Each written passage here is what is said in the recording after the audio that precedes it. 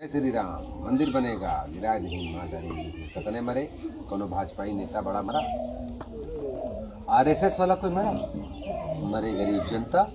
हम कहे मंदिर बने चाहिए, कब्जा होगा बड़ा नहीं।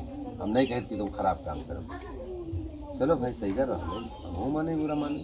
जब कर नहीं सके तो झूठ बोली तो हम कहते रहे वीडियो ना बने तो का भाजपाई हो कि आरएसएस के चेला?